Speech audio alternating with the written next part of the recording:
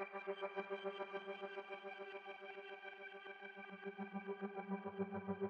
you.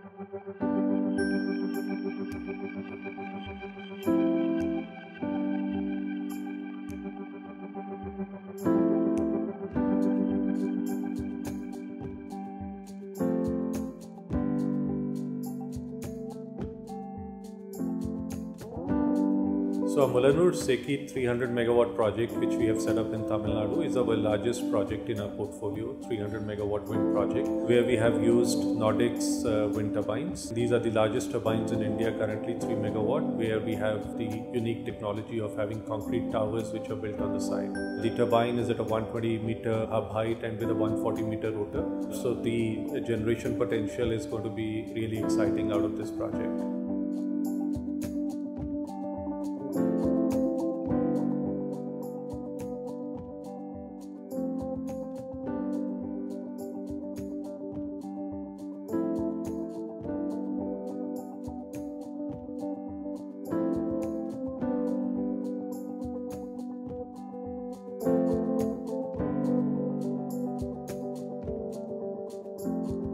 Mulanur Wind Farm is among largest wind farms in India. Wind site is situated in proven windy area of country and it was identified and developed by Sprng. This wind farm is connected to national grid and PPA is signed with SECI.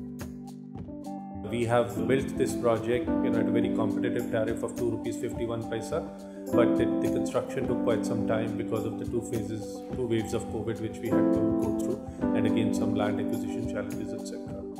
This project has already started delivering energy to national grid in March 2021.